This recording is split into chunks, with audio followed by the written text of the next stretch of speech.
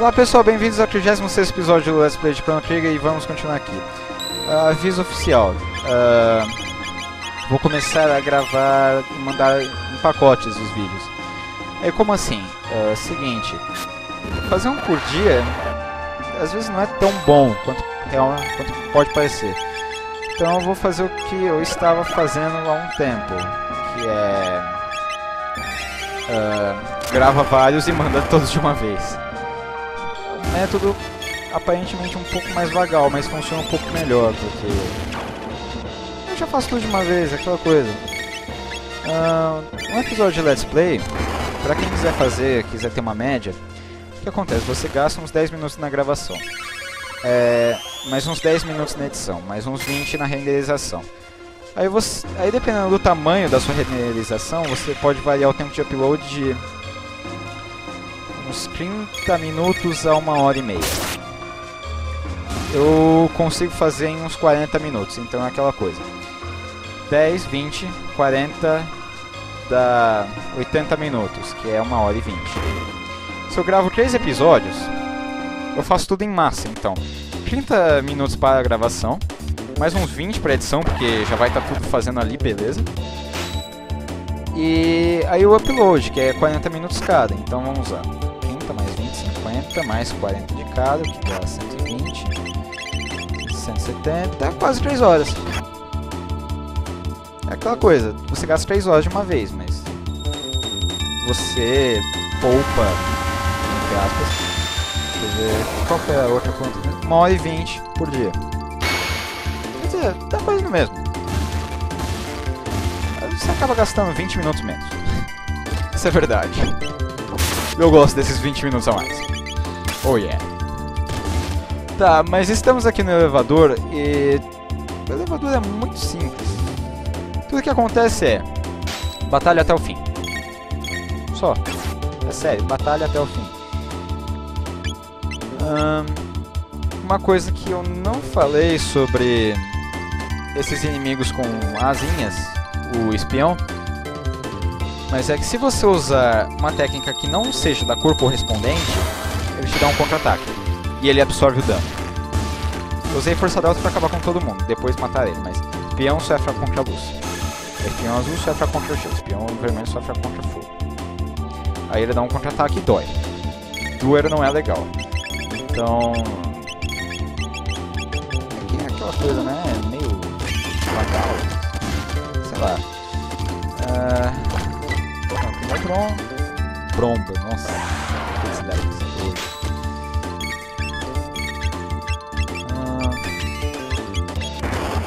Mas é isso, essa é a última batalha do elevador. Rápida essa parte do elevador. Só matar todos. Você tem técnicas fortes para fazer isso, então por que não usá-las? Você pode mais pra frente, vai ter um morto save point para preparar para o chefe. Você pode usar mais um abrigo. Então, gaste MP à vontade. Pelo menos essa é a minha política. Só vou fazer uma coisa rápida aqui. Colocar a fita na malha e cinto veloz para luta. Porque ela está com uma velocidade muito baixa e a malha está muito alta. Se comparar.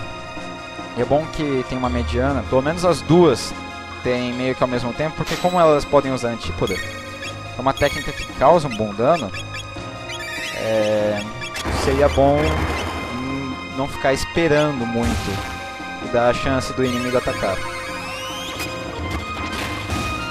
E é isso aí. Uh, ative duas alavancas e aí você pode ir para essa plataforma aqui no meio e ativar a ponte.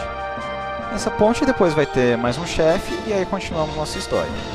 E a história sempre é mais divertida. Quer dizer, não que o sistema de batalha do jogo não seja, né, mas a história é que acaba envolvendo mais sistema de batalha tá aí pra, pra falar que tem. Uma visão deturpada de RPG, é uma visão plausível. Aí aqui você tem o Elixir e o Save Point. Abrigo firmeza. Lavos a cena. E vamos lá. Para, chefe. Vocês foram longe demais. Devo tê-lo subestimado. Mas agora acabou, eles vão tomar conta de vocês. Gêmeos Golem! E Dalton lança contra nós dois golems. Sensacional. Ah, um conselho, jogue uma técnica neles antes que ele faça isso. Porque isso é o que mais dói. Enquanto a técnica dá pra você aguentar de boas. Aquela coisa, não use muito ataque físico, porque senão ele vai usar esse orb, o orb que faz o HP cair pela metade, e esse queima o inimigo. Enquanto que técnica não, ele usa uma coisa mais básica. Ah,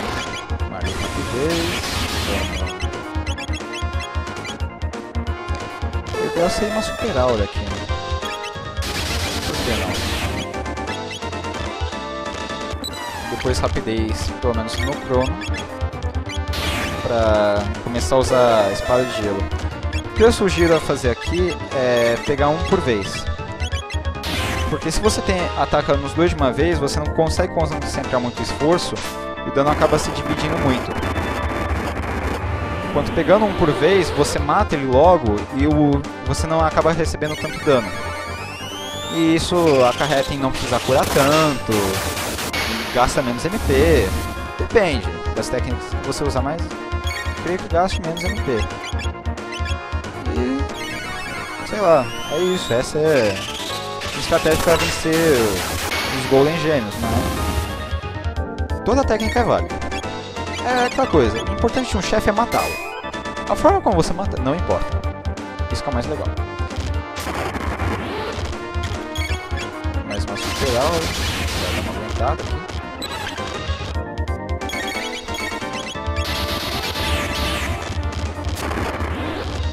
Ele logo está morto. Acho que ele burp copiando o Dalton. Morreu agora. Super aula, super bomba.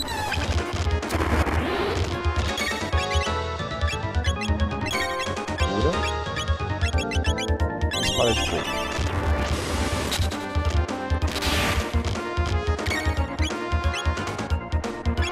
Ah é, espada de gelo. Explosão é boa. Divertido. E a técnica de água.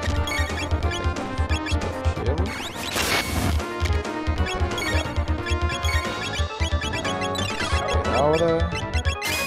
Chamas.